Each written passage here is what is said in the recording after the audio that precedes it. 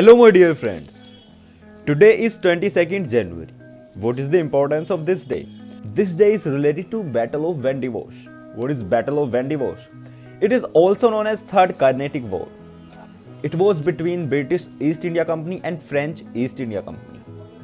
So on this day on 22nd January in 1760 French East India Company surrendered in front of British East India Company and lost the war. And after this war, French were restricted only to Pondicherry. Other than that, all area was controlled by Britishers. And that is the reason why British East India Company spread all over India at, at the time.